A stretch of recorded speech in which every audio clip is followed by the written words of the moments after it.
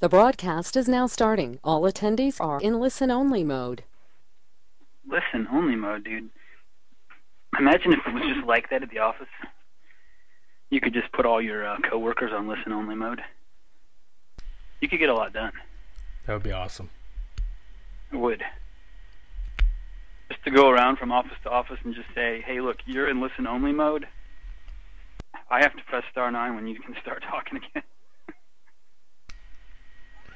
We're gonna show people how to put Google up, Google on listen only mode here, right? so did you? Uh, How's that for a second? do you remember the time? When was it? Like, when would, when did I start trying to lose weight? Like two months ago? A month ago? Must have been two months ago. So when I went to the gym, and I had my short, my shirt. I had everything that was mine except for I had my ten-year-old shorts.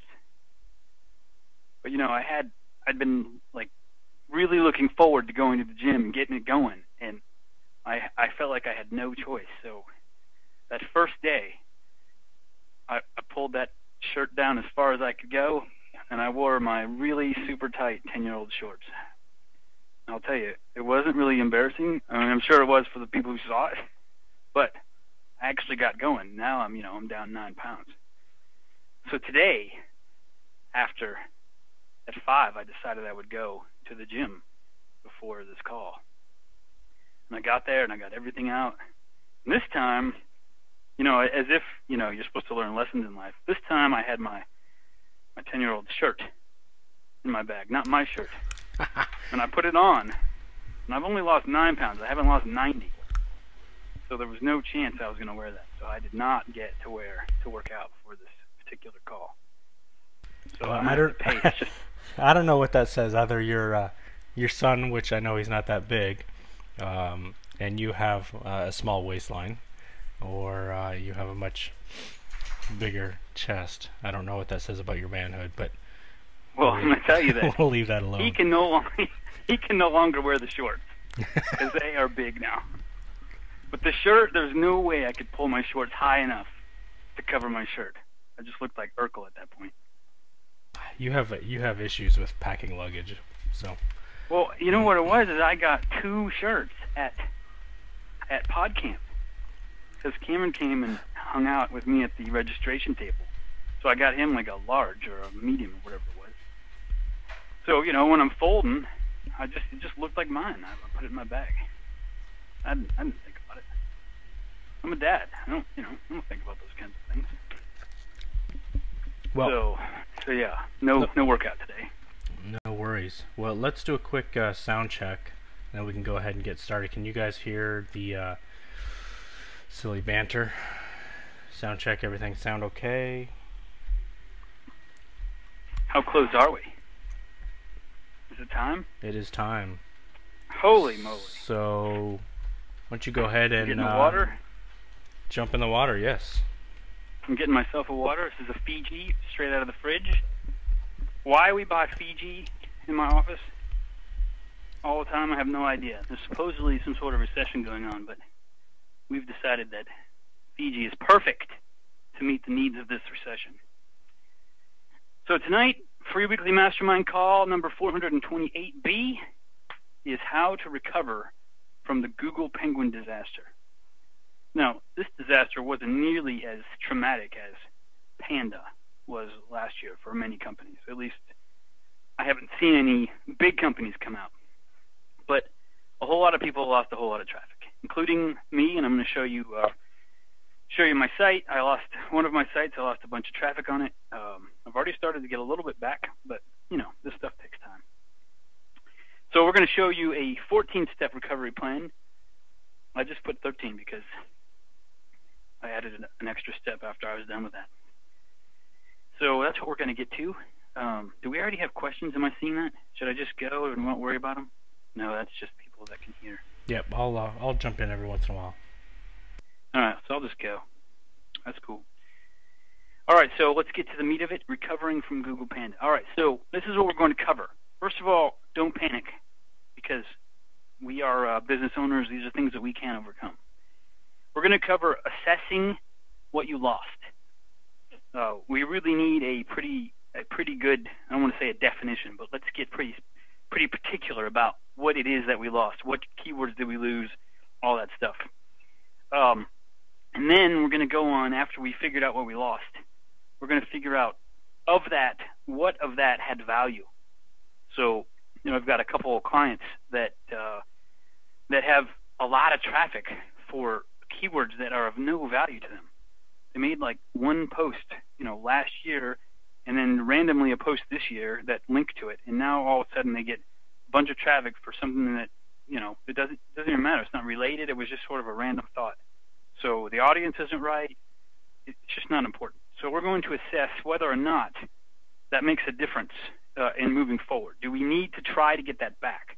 Do we need to get back uh, traffic that didn't matter? For those of you with impression networks and you're making money on the number of views, we'll talk about that too. But uh, from a business standpoint, uh, an impression network is nice, but if you're relying on it, uh, this is the kind of problem that you can have. So once we get done with the assessment, we're going to we're going to take action. We're going to take two separate steps. We're going to take the defensive route and we're going to take the offensive route. Uh, defense meaning let's figure out what Google didn't like and fix it. And offense, uh, let's do all the things right going forward, even if they're the same as we were doing in the past. And I'll get more into that. And then finally, uh, we're going to talk about a success plan moving forward. So these kinds of problems aren't that really that big a problem. Oh, look at that fancy animation. All right, so here's what we want to know for sure. Well, April 24th and 25th, those are the days that uh, that that Penguin was released, Google Penguin. So you need to figure out is your drop in traffic related directly to Google Penguin? So you need to go to your analytics and bring up the month of April and look, did the traffic dip on the 24th and 25th and not come back? If it occurred on the 21st, the 20th, or the 28th, you have a different issue. We can talk about that too, but it's not the same issue. Um, we also want to go uh, look at your money. Where is your money coming from? Your product sales, your AdSense, your Amazon income did it dip on the 24th? If it did, if you if your traffic dipped on the 24th, but your income did not, then do we have a problem? Let's discuss that. Did, does it matter? Do we need to go straight to the action plan and stop with the defense because Google got rid of useless traffic and kept your good traffic? Um, and I need you to pull up your Webmaster Tools, um, which I'm going to show you. Uh, maybe we'll show you that right now. So your your Webmaster Tools is now if you don't have Webmaster Tools, if you're not using it, then this part is going to be useful for the next Google algorithm because you really need to have uh, Google Webmaster Tools looking at your site. And what it is is for some reason, long ago Google Analytics included X, Y, and Z, Google Webmaster Tools did A, B, and C, and they never merged. I think they're still working on merging them, but they didn't merge. And I want to show you how valuable the information is in there, more so than analytics for what we're doing. Um, so then once you do steps one, two, and three, we're going to uh, sort and analyze. Let me see if I need to go directly to that. So let's do that. I'm going to do the Alt tab. You have a, and we're going to go to Chrome. All right, so this is google.com slash webmaster tools. And when I went in there, uh, it had my list of sites. Now, if you don't have Webmaster Tools, then you're going to go here, um, and you're let's just say you're using a WordPress site, you're going to want to get the WordPress plugin called uh, Analytics and Webmaster Tools, so that you can get both the Analytics code and the Webmaster Tools code on your site. If you do have Webmaster Tools, this is going to rock. Um, otherwise, you're going to really enjoy what you can do, what you can learn, and you're going to need to get that on your site as soon as possible I'm not sure how far back the information will go if you install it today or if it verifies it today. Uh, but really, all it is is code you just put somewhere on your site. And you can go through that process on your own. Or, as I always say, YouTube is your friend. You can look up uh, how do I get Webmaster Tools on my site, search for it on YouTube, and there will be 6,000 videos showing you exactly how to do it. So, the first thing that we're going to do is what were we talking about? We were talking about your keywords. We're going to look at our keywords. So we're going to go to traffic and search queries. Now, search queries, down here is going to tell you, let me sort by average position right here, average position, is going to tell you all of the keywords that people are searching for and finding your site, and it's going to tell you where they are. I am number one, so that means I'm on page one, number one for Big Mac menu somewhere. I just searched for it a few minutes ago. I, I didn't find it. So um, doesn't mean that if I searched for it later I wouldn't find it, but I didn't find it today. So 1.3, that means I'm not quite number two on page one. I'm not quite number one. I'm somewhere coming up between those two. So here, number two, you can see all the way through, all the numbers all the way through 1 through 10 are all the keywords that I'm on the first page of Google for. Now this is going to be for you too. So what we want to do is we want to download this table.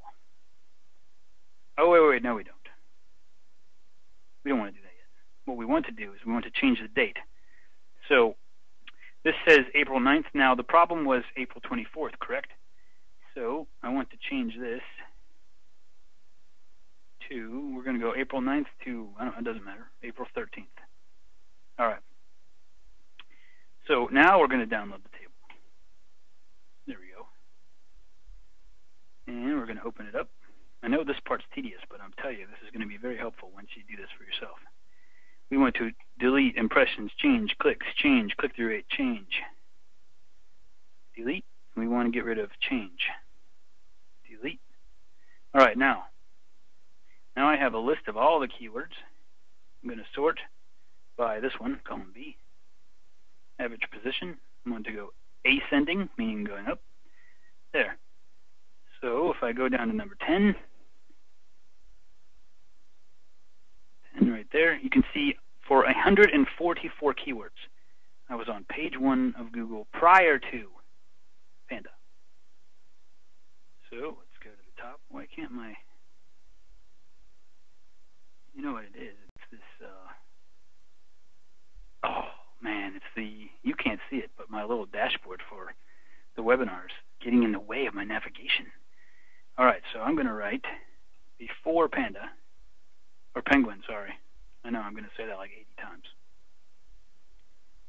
And we're going to go back to Webmaster Tools, and we are going to change this. Let's change the last one first. So there's the date, 24th, 25th. So let's change this to May 1st. And let's change this to the 25th. There you go. Now we're going to download the table. I'm telling you, this part's a little bit tedious, but you're going to enjoy it when we figure this all this out. We're going to get rid of all that stuff again.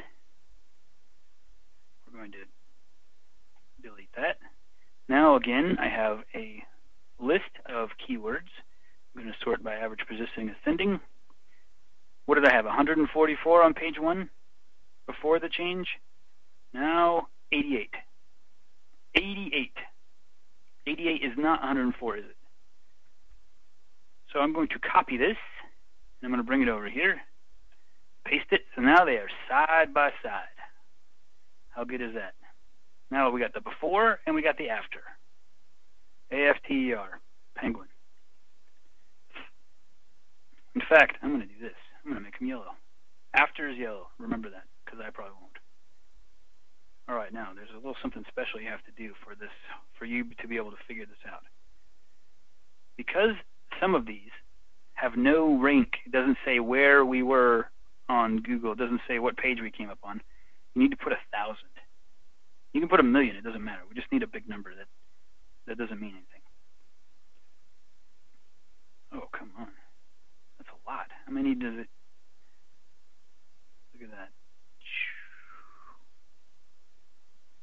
All right.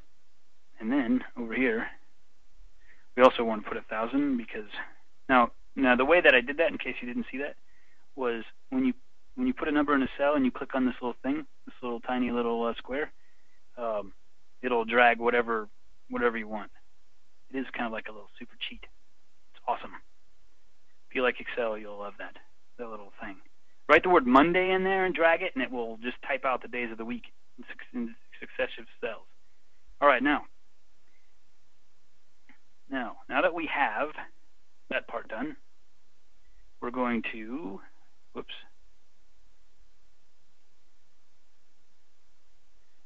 bottom. Shift. We're going to copy. And we're going to paste it over here. You're about to have a really good idea of what your problem is.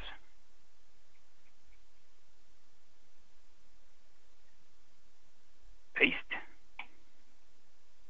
Alright. Let's get rid of these rows. We don't need those. Well, let's get rid of that because we already know now that um, the yellow is after penguin and the white is before penguin. Now, we're about to sort this whole row by what rank we are. So then we can tell which keywords moved up, which word keywords moved down, which don't exist anymore, and all that. But we want to do one more thing. Um, you're just going to have to follow along because this is not traditional information. Um, we're going to put a function here, and we're going to go with concatenate. This is, oh wait a second, I can't do that yet. I need to put a 1 in here. So you're going to put a 1 in this row. I'll tell you in a minute. You'll see why this makes sense. I know it's painful. All right, so there's a 1. Now, we're going to do the function right here. Where's the function button? Right there. Concatenate. Concatenate, right there. Now, the first one is this, and the second one is the 1. Oops. I got to move to this. Now, let's see what that did. Nothing. I screwed it up. Let's try it again. How did I screw that up? It's very simple. You might have to scroll down to find concatenate because I use it. So text 1 is this, and text 2 is this, and then OK. There we go. Now, the difference between this one and this one is that this has a 1 attached to it. Tell you why that's important here in a second. I could tell you now, but it's not going to make any sense. So I'm dragging the little square up to the end of my yellow. Now, every single one of those keywords ends with a 1. I, now, this is recorded, so you can follow along on the recording, but I am now going to copy this, and I am going to paste it right over the top of my yellow, but I'm going to paste special. I only want the values. I don't want the uh, I don't want the formula. I just want the result. So I'm going to delete those. So now I have all of my keywords with a 1 after it, and in yellow in this column, and my keyword rank in that column. I'm going to go to the top. I'm going to sort. There is a header. I'm going to sort by by. Am I going to do position? Or let's see what happens with position. Nope, we're not going to do position. That doesn't tell us anything. We're going to sort by the word. Oh, we didn't get rid of the thousands, but that's okay. So now we can come down here and look at Superfoods 1 right here. That even 10 superfoods? Those didn't even line up. Let's find another one. List of superfoods and a list of superfoods 1. See how they're both a thousand? Doesn't matter. Let's fine. Let's look at down here. There's one. Alcohol early pregnancy. Okay, look. Before penguin, this particular keyword was number 9.8, so it was 9 on first page of Google. Now it's a thousand. That means I don't even rank for that keyword anymore. So we are going to subtract that, and that's going to tell us that I moved 990 places. And I didn't really move 990 because we made up the thousand. Um, but we basically went down 990. So if you can take that particular equation and put it on all of these, now, you know what we should have done? How come you guys didn't yell that out? Let's make our lives easier. Sort, average position, descending. Let's get rid of all the thousands. Come on. Because do we really care? If it's not showing up, it's not showing up. But at least they're they're there. How many do we have to go down? We got to go down forever. That's a whole lot of keywords that are no that aren't really bringing any traffic, isn't it? Can I go faster? Darren's super Excel whiz. He's probably laughing at me because there's probably a super easy way to do this. I am, but I'm not going to muddy the waters. you are laughing at me. All right. So now I got rid of those. That's funny. Sort before penguin. Sending. All right, now now we have all our keywords. So look, 10 superfoods equals this minus this went down one position. One. So I know immediately in my panic state that I don't necessarily need to worry about my page called 10 superfoods that's currently ranked for this. It's not a big deal. Um, alcohol and pregnancy moved from 170 to 260. So let's copy that, put it right there. Anti-aging foods went from 150 to 160. Uh, where are we at? Anti-inflammatory went from 46 to 37. You got to find the ones that match up. We put a 1 there so that when we did this little equation right here, which is equals this one minus this one, the reason that we have a 1 there is so that this one is always the after penguin. Sometimes if you don't put the 1 there and you resort this, sometimes it's it's yellow, white, yellow, white, white, yellow, white, yellow. But when you put the 1 there, the, the yellow is always second, so you can do this little equation. See how much easier it is to figure that out? Now, now there's a bunch of keywords on here that I don't care about. Look at this one, antioxidant. That is the kind of a misspelling of antioxidant with a K instead of an X. I might have been getting traffic on page 9 of Google for it, but now I'm on page 10 of Google. Do I want to spend any time worried about that? I don't think so. So after you finish this whole process, and I'm telling you, it takes a little, it takes a few minutes. Although we did narrow that down considerably.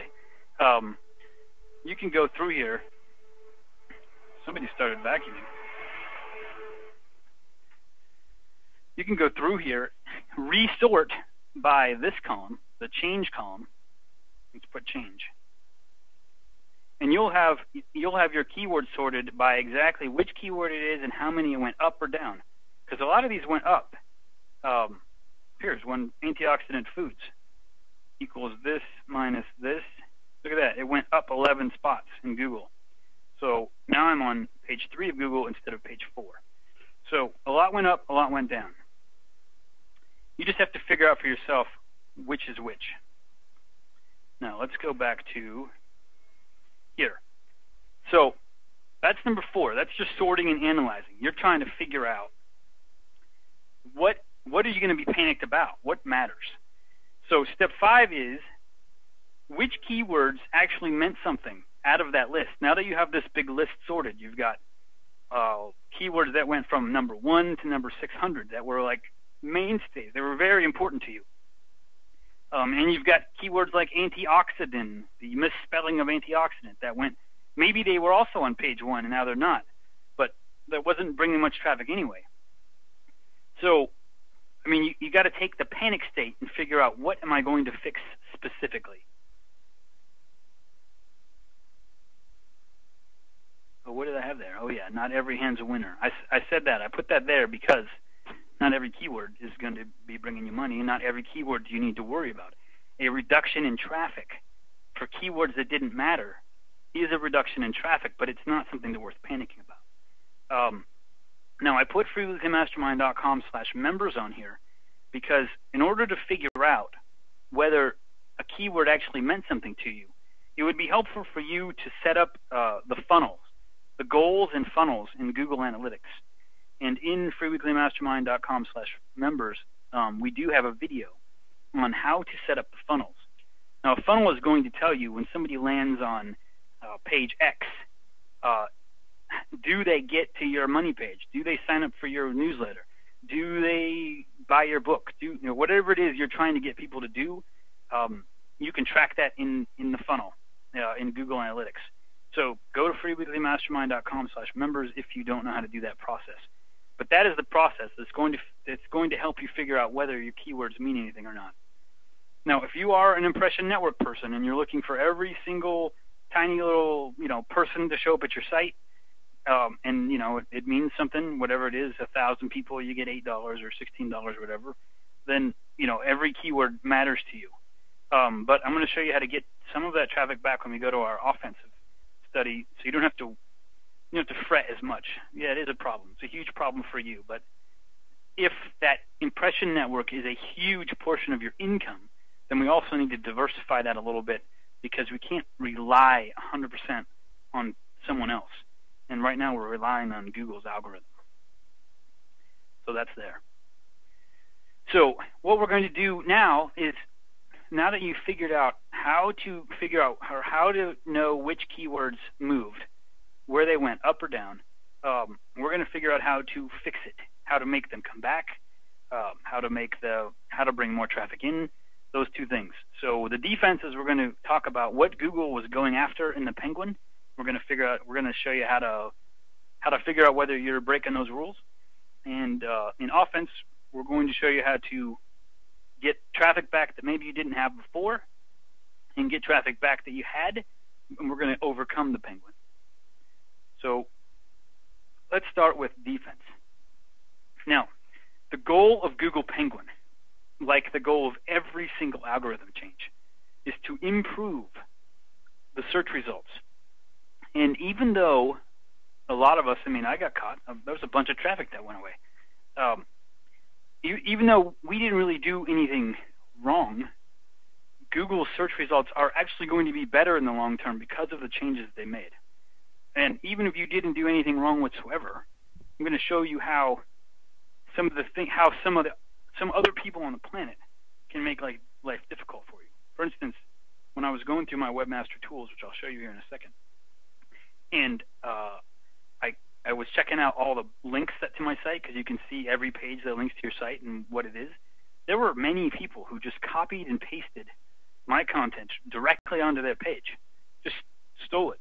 So now I've got duplicate content out there. Um, that's not the kind of duplicate content you get with a press release uh, where you get with an AP article. It's definitely just stolen content linking back to my site, and that's uh, that's not a quality link, which is part of the problem.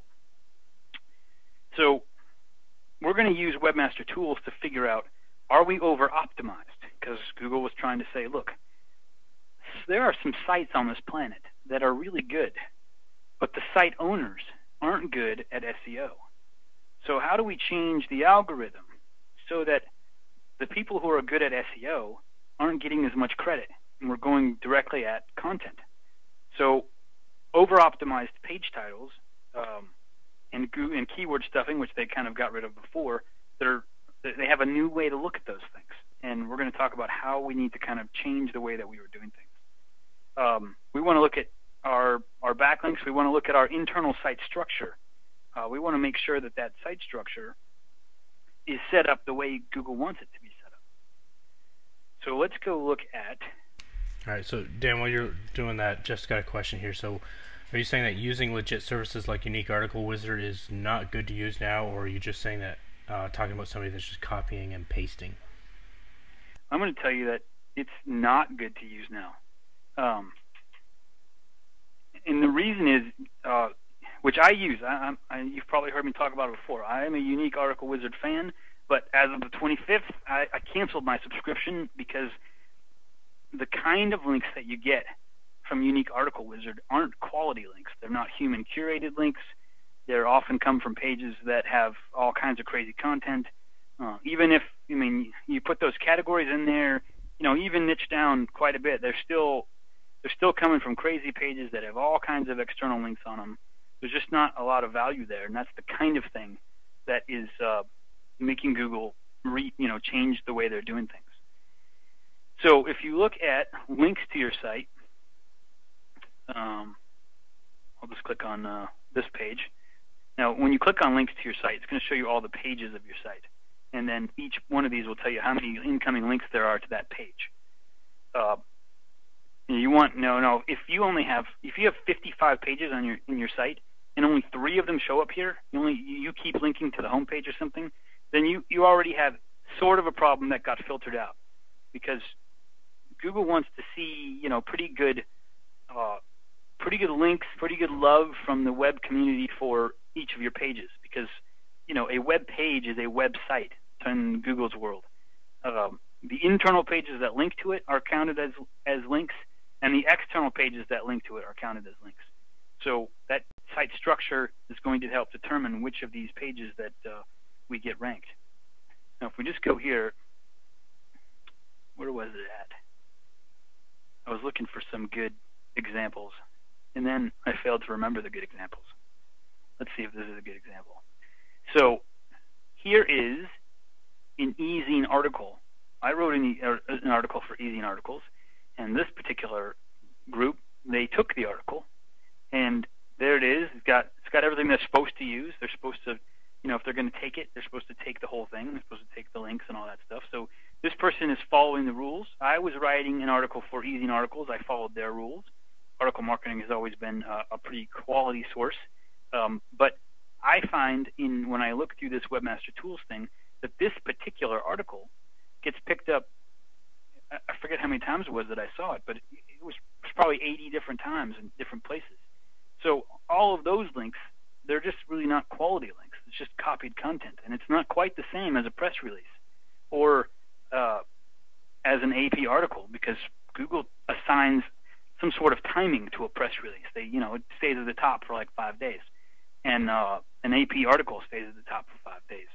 Um, so articles from Unique Article Wizard, from Easy Articles, um, you know, those aren't designed like like press releases, so they're supposed to stay out there. Well, now Google sees, you know, 200 of the same article all over the place, and it's not variant. There's no variation. Which one is the one that needs to be indexed? Um, so over time, you take all away all those links because really only one of them matters, and that page doesn't have quite the quality scores it used to have. I think even I, I clicked on no, that was a weird one. That was a, a couple of these were uh, were sites that were I didn't really even understand. I think this is another one.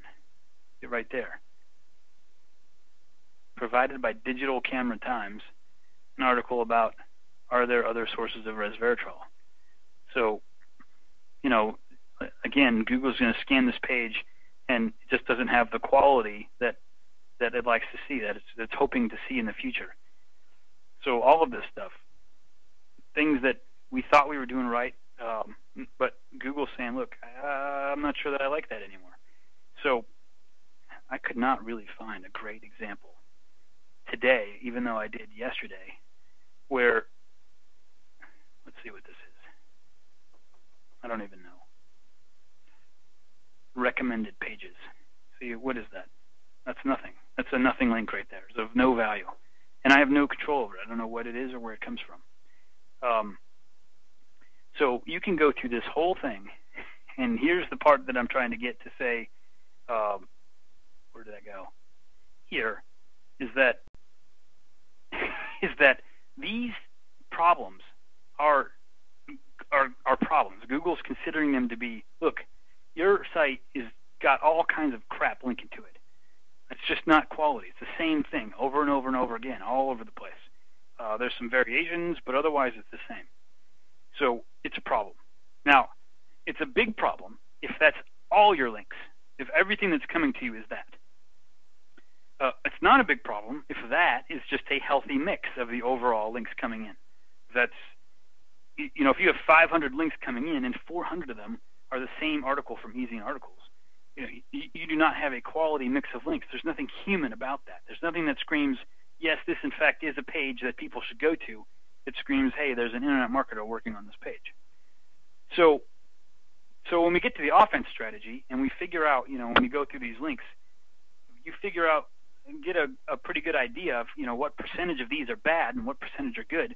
We we either have to increase the number of incoming links, quality ones, uh, to help offset the bad ones, or we actually have to write websites. We got to ask people to remove, you know, the the content. And I and I put this sort of a quote on the on the computer here um, that just like Toyota doing recalls, just like factory problems, just like anything else, we've got to reassess. We got to step back. We're business owners. We got to take control and realize that we may have to do something. We have to step up and work in order to make things better. Uh, I've already written to a couple websites. Um, I went to betterwhois.com. I looked who it was. I emailed them. I said, "Here's the page. Could you please remove this?" Uh, one was a forum administrator.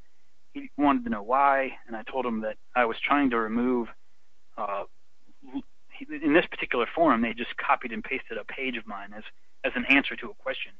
So I asked him if he could remove that part, um, and he said why, and I said, well, because of you know X, Y, and Z, I'm trying to overcome the effects of Penguin. And I said, look, if you help me, and I can get this page to move up, and I can show you, you know, I, I got rid of X, Y, Z links. You know, I can provide that to you, and maybe that can help you. So he said, sure, he would take that page down, and then you know it's kind of a trade. I told him I'd help him with the information, and he said he'd get rid of it. But like I said, it's going to be work. Now, I don't know if you saw that uh, several years ago that Randy Pausch guy who uh, who gave a lecture at I think it was Pepperdine in California, and he was talking about life. He was talking about trying to work for Disney. He was talking about all the things that he had to go through in life, and knowing that he was going to die and had a bunch of time to think about stuff, he realized that that when you really want something and you go after it, you're going to get it. And the speed bumps are put there to stop the people who don't want it as badly. So he wanted to work at Disney, and they said no, and you know, seven eight other things until he could get there and work there. You know, he didn't take no for an answer. He realized that he was the guy and he needed to work there. So I'm telling you that moving forward, no matter what you search for, there is going to be a number one. There's going to be a number two, and there's going to be a number three in Google's results. How you get there is going to be dependent a little bit on how much you want to be there.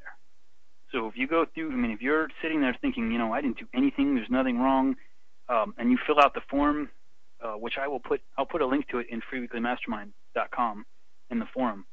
Uh, there is a form you can fill out that says, I would like to be reconsidered.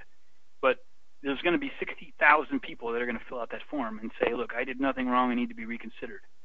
You need to go through your links and you need to put in your letter, I did X, Y, Z, and I changed this and I changed that, and I would like to be reconsidered because there's going to be 60,000, 70,000, a million people who are going to say, look, I need to be reconsidered. So, I mean, show show them if in fact they're going to do anything to help you that you've done something. I went, I saw, I saw that you know this Easy article got reprinted 58 times. I can't do anything about it. I can't get it on these websites. I can't get it off, um, or I tried, and I would like to be reconsidered because I, I haven't done anything that's bad. Maybe, maybe you'll stand a chance. So those are the things to do. I mean, that's how we're going to figure out exactly what it is that caused the problem. Oh, I didn't show you a couple other things on there that will make this even easier. So you're going to go through here, go through your links, figure out, I mean, are you doing something that's bad? Uh, are there links coming from places that you can get rid of? If you can, get rid of them. But there's also some other stuff in here that is useful. Um, sitemaps. And in fact, if you're going to fill out that form, make sure you reference these things. HTML improvements. Look at this. Duplicate meta descriptions. According to them, I have four duplicate meta, meta descriptions on these pages. Two pages, two pages. So I need to go to those pages and I need to change the, the meta descriptions so they're not duplicated. I don't know why they're duplicated, but apparently they are. Um, what else does it say? Short meta descriptions. Apparently there's 13 of them that aren't long enough. They need to be what at least 80 characters. So apparently these are too small. Um, so make that change. Duplicate title tags looks like the same pages as the meta descriptions. In fact, those are that's interesting. Those are uh, from the newsletter that I send out. Maybe that's why they got overlooked. So are those. So I got to get those fixed. So apparently that's a template I'm using, and when I fill out the template, I'm not changing the title tags because I haven't been thinking in my head that this is SEO. I've been thinking I'm emailing it. Well, apparently Google can find them and uh, saying that I have a problem. So go through here in Webmaster Tools and fix fix all the stuff. I mean, make this perfect. Uh, the other day I had um, did I have configurations? Oh, I had health. I had crawl errors, So the other day I had 20 crawl errors, and I just had to go uh, look at the pages. A couple of the pages um, were off-site. They weren't even mine. They were just some something else. It was bizarre why they were on there. And I had to press this button. I had to click here and then press this button, mark as fixed. So it's been a, week now. So apparently that got fixed. But there are still four errors, 404 codes. So I need to go through there and figure out why those have 404 codes, and I need to fix them. When they're fixed, I need to write mark as fixed. Um, there's nothing to do there. I will say that if you click on this content keywords and your main themes is not showing up right here, like this is my main theme, resveratrol, if if your main theme is not number one, then you have a different. I mean, you have another problem altogether, and that is your uh, site structure isn't built correctly, and it has sitemaps. So make sure make sure all this stuff is good before you say, "Look, Google, I fixed all my things. Please, uh, please make sure that I'm okay. Please let me back into the results." So, so that's what you did. You went through, uh, you figured all that stuff out. You fixed it as much as you can, and I mean, make it work for yourself. Make it seem like work because it should be. You need to be contacting webmasters and say, look, please remove that link. And you need to do stuff that other people that you're competing against are not doing. And even if you don't get, you know, if Google doesn't send you a note that says, yes, we relooked at your site and you're going to go back up, just doing those things are naturally going to move you up. Because, as this says, Google always wants the most relevant results. The day that people realize that Google's results are just crap is the day they start moving back to Bing and Yahoo and the Google world collapses. So they have to continue to outsmart internet marketers and try to continue to bring relevant information to their audience. In fact, they don't even like to have your keywords in your domain as much anymore. Like NashvilleDentist.com is not going to do nearly as well as DennisJNolan.com, dentist in Nashville. So remember, they're they're trying to stay ahead of us, and we are trying to catch up and sort of keep ahead. So in the meantime, while you are while you are figuring this out, and I'm going to show you one more thing. I want you to go to uh, google.com slash oops slash AdWords.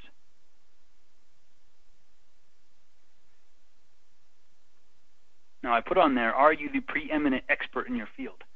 Hopefully that is your goal. Um, when you are the preeminent expert, it's very hard for Google to deny you. This is one of the keywords that I have seen where the preeminent experts actually show up. So the contextual targeting tool is a is a Google AdWords tool to help people who are advertising uh, Google AdWords.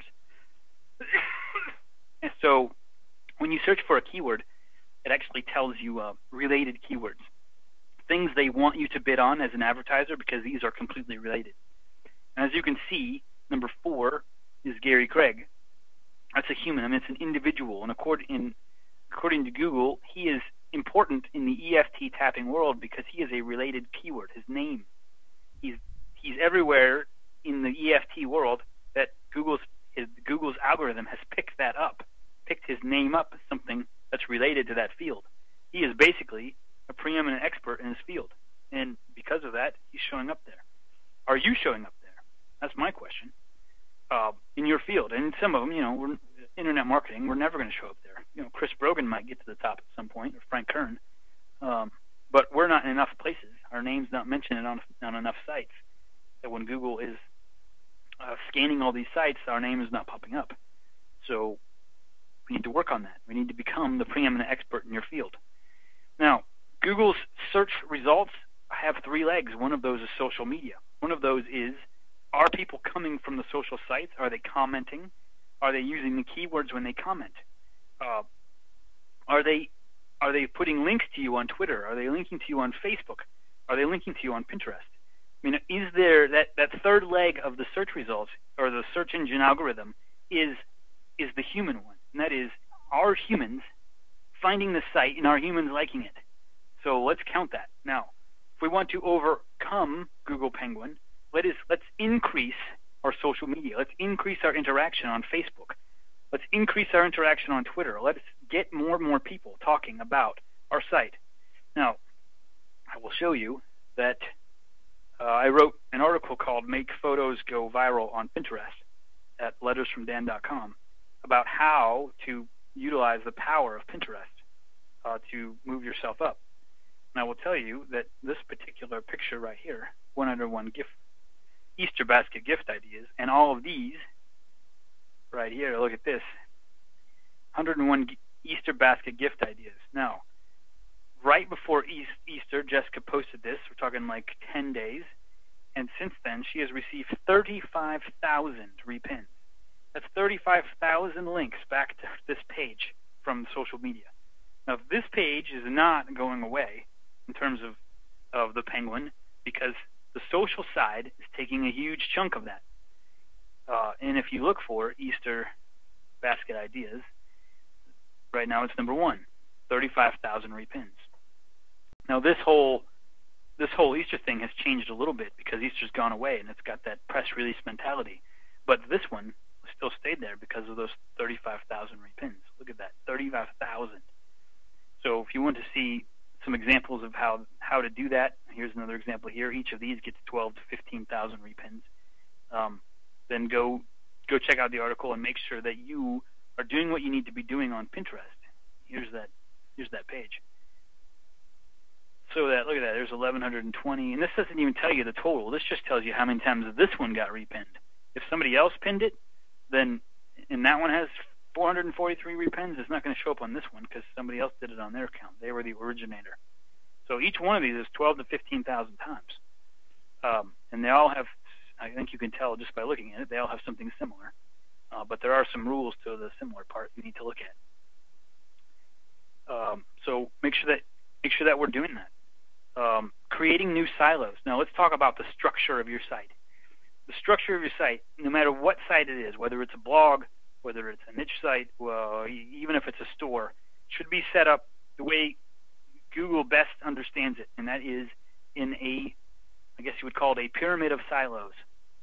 Your domain, your your main page, uh, needs to be at the top, and underneath that are the pages in your navigation bar. Those are your tier two pages. So if you're, and the reason that you want them in your navigation bar is because everything else should should link back to your tier two pages, and your tier two pages need to link back to your home page.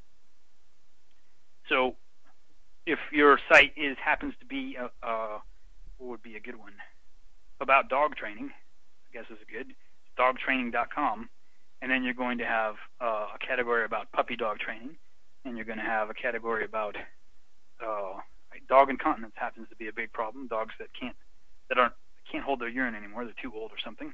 So how to train them to you know do whatever they do. Uh, you could have dog potty training. You could have that. Those kinds of things need to be in your sidebar. Those are your main pages, your main content. Those are the sections that you have divided your site into.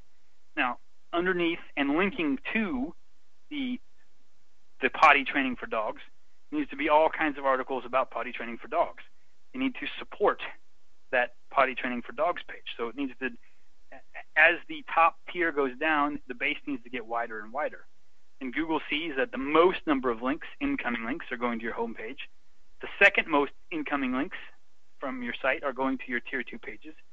And your final, your last pages, some of them don't even have incoming links, they have external links. So if your site isn't set up like that, it's not designed, I mean, if every single page is available from your homepage, then you're not you're not showing Google how your site is structured. You're not giving it a framework in order to understand it. If supporting pages link to supporting pages, then it can see, oh, look at this.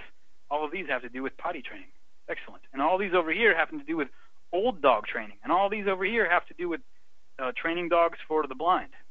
But if the potty training and the blind dog training and the incontinence training, they're all available on the same page, you're not showing Google uh, exactly how to view your site. You're not giving it some sort of relevance just through the internal links alone. So, from an offensive standpoint, you can go look at your site. You can change the links around. You can change your navigation. Uh, you can make sure that each page has supporting pages linked to it. You can make sure that pages that totally aren't related aren't linked together.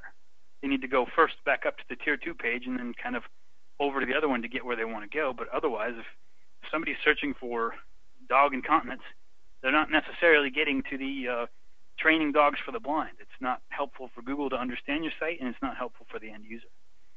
So that would be number 11, creating new supporting content. Find out, you know, restructure your site and then start adding articles to support the keywords that, that got hit. So I think what was one of mine, 10 superfoods. So I need to make sure that on my resveratrol site that the 10 superfoods section uh, is all connected together and that I start writing new articles about 10 superfoods. I need to continually prove to Google that page is worth it. I'm also playing defense. I'm also going to see, you know, what's what are the backlinks to that page. I'm trying to solve that particular problem. I'm going to look at uh, the title tags and meta tags and make sure that uh, 10 superfoods isn't in there 100 times. You know, that's a reasonable amount of times. And you might want to, because it's a site by site thing, you might actually want to go look at the, the pages that didn't get bumped by Google and compare them to your own pages that did get bumped. What's different? What is what about your keyword density? Did it like it on this page and not like it on that? Is there something different about them? Uh, or is your title tag called 10 superfoods slash 10 superfoods? Or uh, and the other one is called 10 of the greatest superfoods, and the one that's more human sounding didn't get bumped, and the one that's over optimized did. Uh, those are things that you need to do. Now, creating new silos. That is, uh, when you use the, let me go back to that real quick. When you use the AdWords, was that on here? Here. Let's see this. Super foods. When you're using the contextual targeting tool, um, and Google is telling you through this tool, which is still loading, loading, loading, is telling you that superfoods, food lists, green food, healthy food, recipes, super diet, weight loss, it's telling you that these are all related foods that support superfoods. Now, I'm saying go create new silos. So if I do not have a silo on recipes, if I don't even have an entire, I don't have a section on superfood recipes, and Google is saying right here that superfood recipes are supporting the term keywords, then I need to go out there and I need to create a superfoods recipe section on my site. I need to build it out. I need to link it back up to the superfoods page so that I continue to build quality content and show Google that look, I've got all the keywords that you need. Uh, I got them all related, and uh, I'm continuing to move forward despite the setback. Start a podcast. Now, this goes back to number eight. Are you the preeminent expert in your field? Um, start a podcast. Get on SlideShare. Make sure that you dominate there. Get on Goodreads.com. You know, make sure you you're commenting on all the books in, your niche.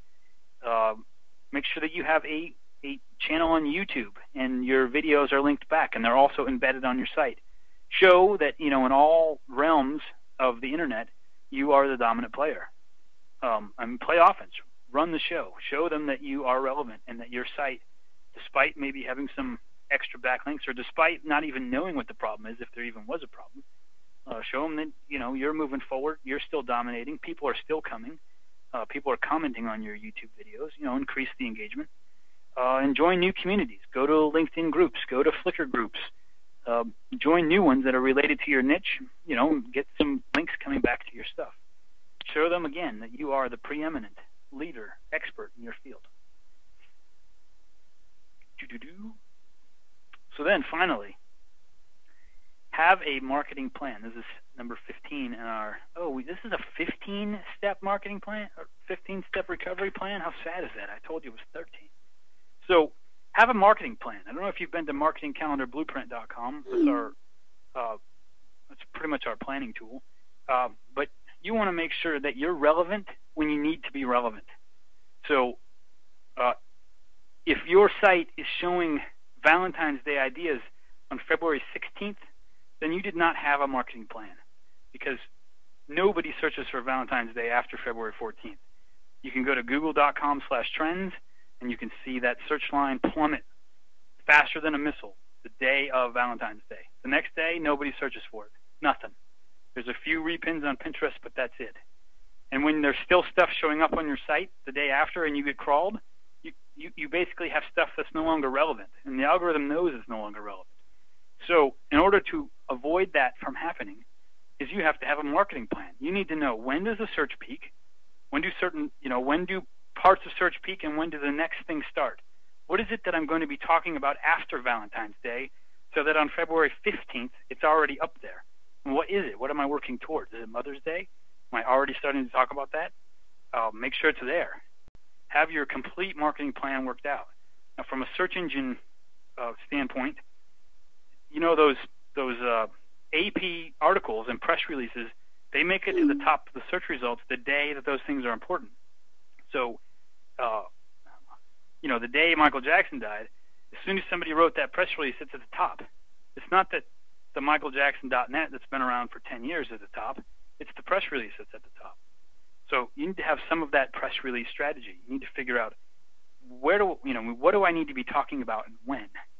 Now, from a user standpoint, from keeping your community involved and moving your community from one thing to the next, uh, and I'm sure you've heard me talk about the Bachelor show before. You, you also need to have a marketing plan because you need to be selling or pre-selling what you're going to be talking about tomorrow to your audience today, so they're already excited about it. So they're already primed and ready to link to your pages when those pages come up. If you do not have a marketing plan, then this is not stuff that you're going to be able to do. Um, if you don't know the day after, you know, Valentine's Day that you are totally gearing up for a grilling season, and you're going to be doing all kinds of stuff about, you know, spring grilling, grilling in the rain, uh, you know, all, the crazy stuff that you can do as soon as the snow melts, uh, you're just not going to be ready. Your site's going to lose relevance. So continue to pounce on relevance, continue to pounce on press release strategy, um, and be exactly where you need to be. The other benefit of having a marketing plan, this has nothing to do with Penguin or with Google, is that is that you can totally dominate for Thanksgiving and Christmas without being there. You can enjoy your family. I mean, you can go on vacation. You can automate all those things that you know you need to do ahead of time if you have some sort of a strategy. Now that strategy that strategy is going to help you overcome the results of Penguin because people are going to instantly be more involved with your site when they see that you're totally on top of things. And those of you who are already doing that and doing a very good job, as I can see, I know several of the sites that are uh, listening tonight. Um, you, you know, th- those those people know that as soon as they post something that's that's cool and relevant the day after Valentine's Day, they're already getting comments, and somebody else is still stumbling. They didn't, maybe they didn't update, or they just put it a random post up.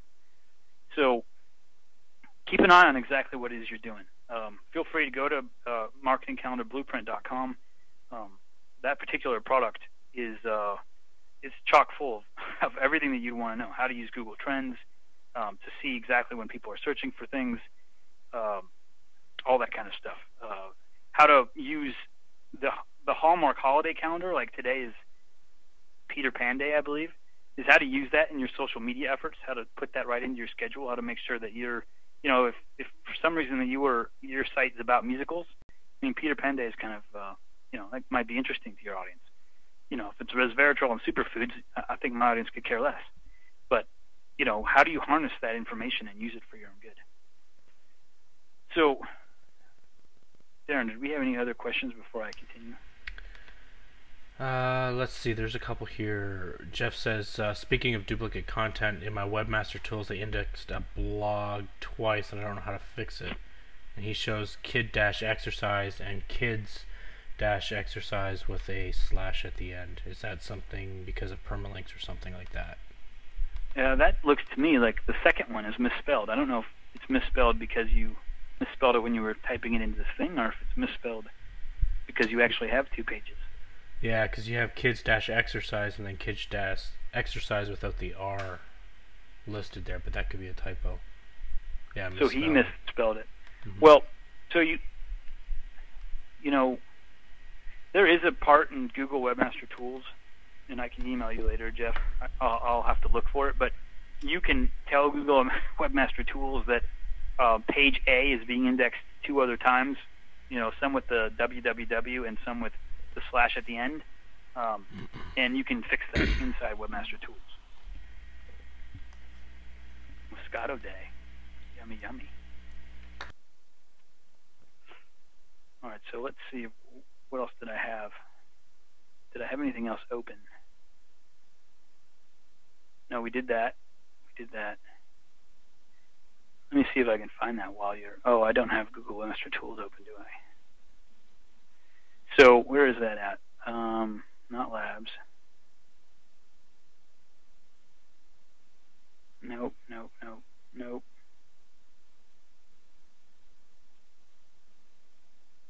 You could try that too. You could remove that URL from your site, the one with the uh, whichever one you don't want, so you don't have duplicate. There's the remove URLs, but there's another place on here. I'm trying to think about what it was. Configuration. No, no, no. No. You remember where it is? You remember seeing that too? No, it's been a long, long time. Yeah, I'm looking. Well, here's one of those places.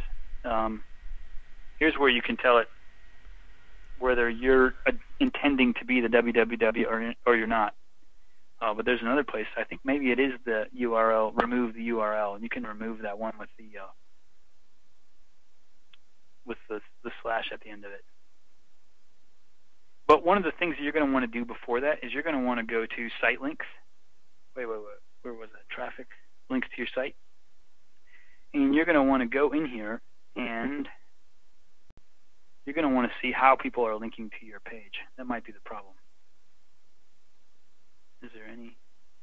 Oh, great. So, Control F is find res resveratrol. Okay, so here, see how they have the www? Um, this particular page is linking to me with that. So that page, the page with the www, is getting the juice, not the page without the www. Um, let me let me expound upon that a little bit. Every single URL is a new page. So with the www is a page, without it is a page. Those are totally separate pages, even though they're exactly the same. That goes for the same thing as uh, benefitsofresveratrol.com slash tag slash superfoods. If you put a tag on your site, you tag one of your articles with like 10 different words, then that means there's going to be a page set up for each one of those tags. There's going to be a page set up for super. There's going to be a page set up for foods. There's going to be a page set up for health. There's going to be a page set up for resveratrol. All the different tags that I would put on that page, they have separate websites, basically separate websites. Now, this is the problem with duplicate content. This is the problem with tags and categories on your on your site. So now one of those pages is going to get indexed and cached. One of them. Not all of them, one of them. If you have a campaign on Facebook or Twitter or you use Ping FM and you send all your links out and you link to the main article. So you link to resveratrol.com slash article one. That's your main thing. You're telling everyone to go to that page and people go to it. But Google indexes resveratrol.com tag superfoods tag article 1. So it is indexing the tag page.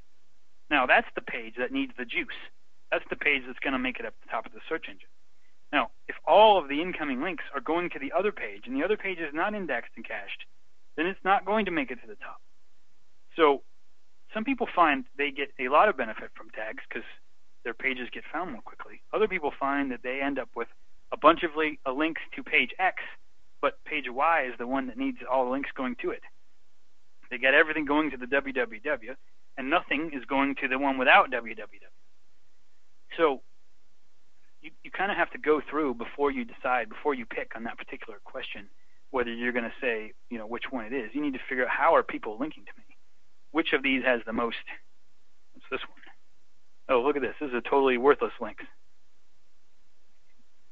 Look at that. I have stupid links. Now, can I write them and ask them to remove this page? I do not know. I may have to try that. How do you get rid of that?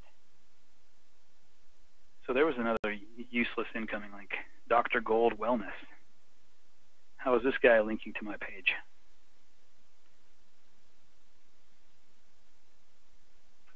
I don't even see a link on there, do you?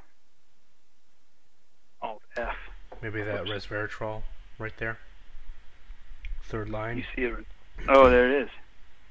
I need to get rid of this. There it is. Benefits of resveratrol.com. All right. So the same way that last one did. I guess that makes sense because that's what the page is. So let's do this. Let's go back to here more. Let's see. Are there any of these that have a slash? See, here is www benefits with the slash. Do any of the other ones have a slash? No, none of the other ones do so far.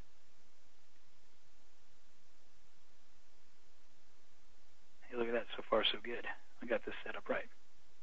Some of these might have a slash at the end. There's a PDF. See, that shouldn't even be indexed. So some of those things I got to fix on my own.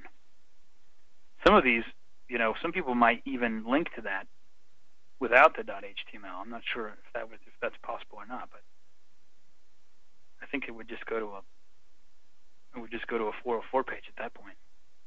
But some of these have almost no links to them. So if I want to play offense, I'm going to go out there and I'm going to talk about Latin superfoods because there's only one link coming to it, and it's probably a link from one of these other pages. So let's move that up. Now, if you take this list with your incoming links and you compare it to this list, this right here, antioxidant foods has went down 19 points.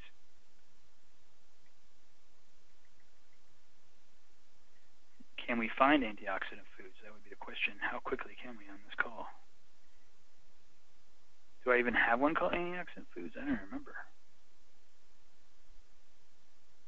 Antioxidant facts. Beats me. I do not have one called antioxidant. I think I got something called foods high in antioxidants, but I don't think antioxidant foods. So anyway, my question would be, in order to recover from a 19 point deficit that I had before, what is it that I need to do? Now, the only way you're going to know that is if you go through this process of figuring out which keywords went down and which keywords went up. I'm, I'm not going to be working. Here's antioxidant. Oh, here's antioxidants foods. That's the one that went up because probably nobody's optimized for that. And I probably am not either. Antioxidant foods went down. So I need to go back over. Where is that page at? And find the page that it goes to and figure out well, if it only has one or two incoming links, then I you know, at least I should go cr- create some links, create a hub page, write some articles about antioxidant foods, and link them back. Um, you know, quality stuff because you can't just do 300 word articles now. Now you need, you know, you need four or five paragraphs to prove that that page is worthy worthy of standing on its own. Uh, and then link that back to my page so that it has more than three incoming links. That would be, you know, that would be a good first step to take. I, can't tell you how valuable this page is right here. And I will tell you that I, I did one on my other computer, and I did not bring it because I wanted to show you the process. But going through here and uh, what is this? Control C. And going through here and doing that for each one of these, so you can see whether it moved up and down, is really going to be helpful, especially after you sort it.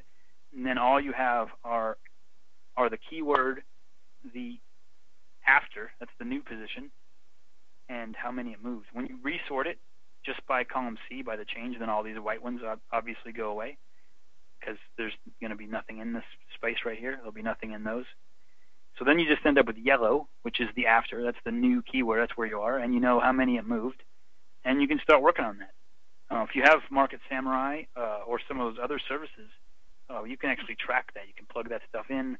You can track your movement. You can uh, add an article. You can start talking about it on Twitter. You can create an, you know, you can get BlogFrog or go to BlogFrog and start talking about that page on, you know, somebody else who's talking about Latin superfoods today, uh, and watch it move back up.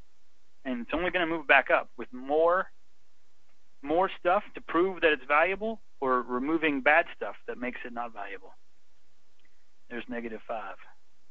I don't think this one is the same thing because that has a question mark. Now, basil herbs, basil herb 1, basil herb. So that one moved up 9 pages. That's pretty good. Look at that. That moved up 18 pages. Down 5.2. Down 0.9. So, you know, some of these are going to move down a lot. Look at that. That was a big one for me, blueberry health benefits. That's one of my mains. Uh, so I have to go work on that. Now, without doing this exercise, I definitely would not have figured out which one is which, and I'd be still be in panic mode. Um, so let's go back up here. Let's data sort. Let's sort by change, ascending. Now I can see, look at that. Those are the keywords that I need to work on. Where's the ones that were positive? Maybe I didn't. I didn't do something right, but that's all right. So here's all the negatives. Oh, there's some positives in the middle. Does it not understand negatives and positives? How could that be? Dan, what did I do wrong? I didn't see what you How did does it there. not know negative? Hmm? I, I didn't see what you had done. I'm sorting it right now by this column. Uh-huh. Look at that. Negative, negative, positive, positive, positive, negative, positive, positive, negative. Is there something else you got to do with negative numbers? Uh, Oh, I know what I did. You know what I did? You can't make this mistake that I just made. So, here's the mistake. As soon as you sort this, this is a dynamic equation. So, once you sort it, this is going to sub- is going to be the difference between whatever is up above it one and below it one. So, I think that I need to do. How do I do that? So, oh, you know what I need to do. Oh, you need to do one more thing. So after you deal with this equation, you need to copy, and you need to paste special, and you need to paste the values. That's what you need to do. Then you have to delete this. So now I can sort.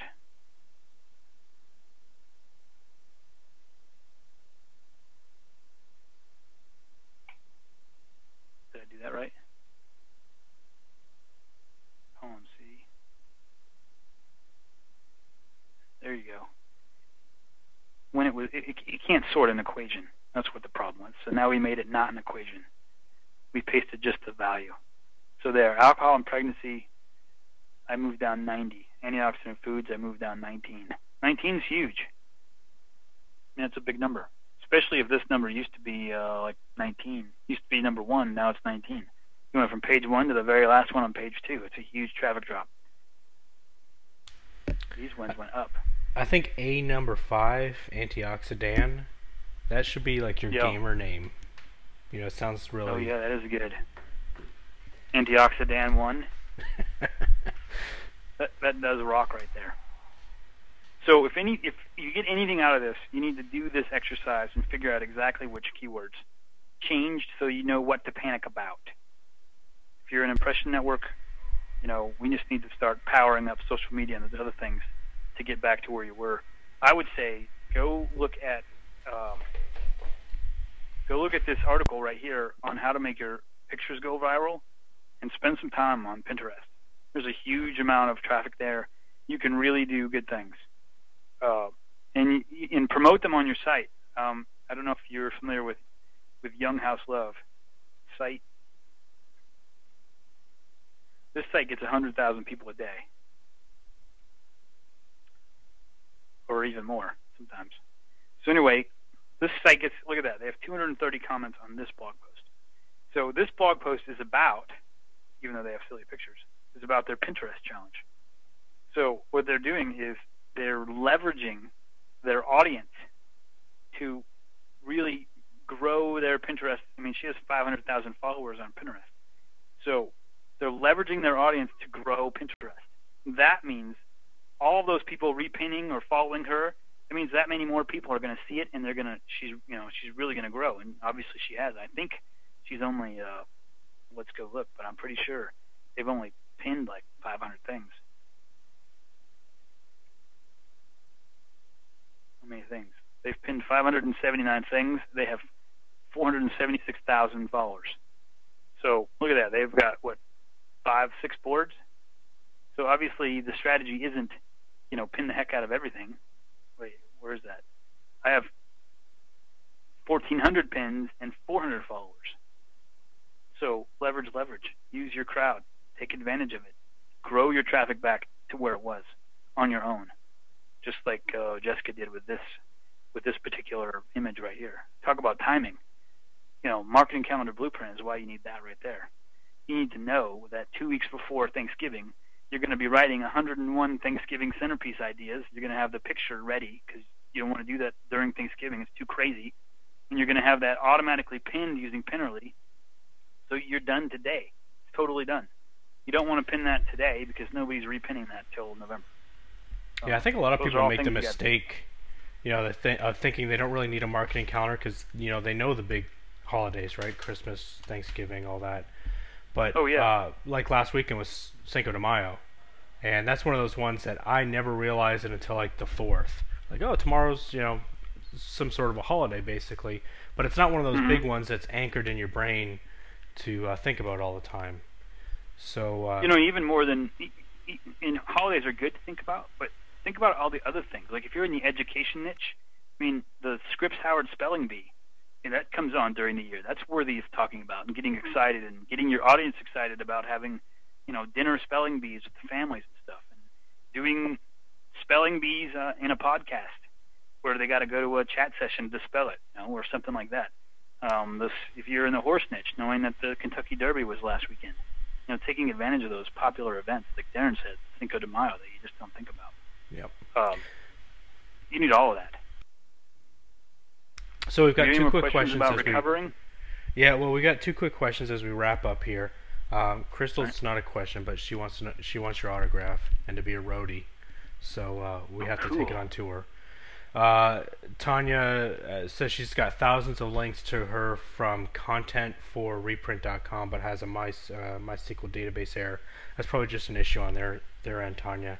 Um, they probably crashed their database, um, and I would probably don't it. even know about it. So. Uh, and then Mary asks, would you clarify which time frames you are comparing on that report? So I went to the Google Webmaster Tools and I compared. Um, where is that at? Dashboard, maybe? I don't. Oh no, no, no. We were doing traffic search queries. That's what we were doing. And I picked. Uh, well, now it's messed up, but before I had April 9th to the 13th. Whoops.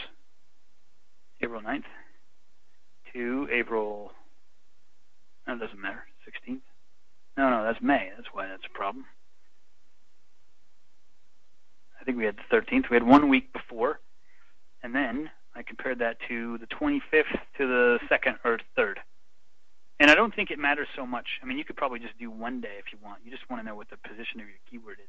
But I, I picked five days. I gave it a five-day average for both. So I got a week after and a week before. Does that does that answer that? Yeah, I think so. That makes sense. Uh, any other questions? Was that helpful? Was it not helpful? Were there things that you were looking for that you didn't get? Or, or you feel like you're still behind the eight ball? Um, we can talk more on Free Weekly Mastermind this week. Well, I, Um, at least I- put in there whether it was. Go ahead. I I think it's Sure. useful just to to to see that information of knowing where you were before and after.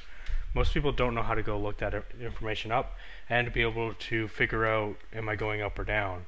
They generally just look at the top line, which is I got X visitors today and I have X plus or minus the next day, and um, so I think that's really that's really valuable stuff, and that's going to lead people to uh, offensively attack and get better traffic because of that knowledge. So, you know, props to you. Well, you know what most people do not do on uh, webinars is micro. It's all a bunch of uh, this is how great it is, this is how great it's going to be, and then go buy this recover from Google Penguin product. But Yeah. Free Weekly Mastermind, we do as much micro as possible.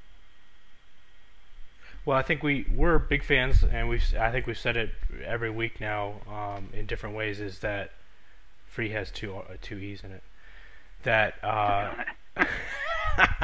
that we're a big fan of knowing your numbers and being able to uh, know where you came from and and um, where you've been. So if you would, we would appreciate it um, if you could head over to freeweeklymastermind.com, which, as you know, is a Facebook group uh, that we had redirected. And I encourage everyone to get a domain name for things that are important to them and redirect it, including if you have an ebook on Amazon, do not make people go search for it. Tell them to go to myebook.com and have it redirect to your ebook on Amazon. Uh, if you would go in there and, and let us know whether that was helpful, tell people to go watch the replay. The replay is always at freeweeklymastermind.com slash members. All our replays are in there. We do have uh, premium content. We have a 10-minute traffic tips series where we interview uh, website owners who get a lot of traffic about exactly what it is that they do. Um, I think we interviewed uh, the guy from the shoe game. He gets 70,000 a day. Um, we got uh, J.D. Roth, which is, oh, Crystal, put in there what his site is. It's always backwards of what I think it is. It's such a clever name. Man, I can't think of it. Um, he's got like a Dave Ramsey style site. GetRichSlowly.org. Yes, That is it. Get rich slowly. See why it's backwards to me? I'm always thinking quickly, but it's because he's a Dave Ramsey kind of guy. He knows how to, he knows how to, com- you know, pile your money up. Um, we got a bunch of interviews in there that are uh, really helpful. Otherwise, we appreciate your comments, your questions. I hope this was helpful. I hope that you, your panic is over and you figure out, yes, I can go figure out exactly which keywords are destroying my traffic and whether or not I care. Um, if you don't care, I mean, you don't have a problem. It just sucks that you have less traffic. That's all.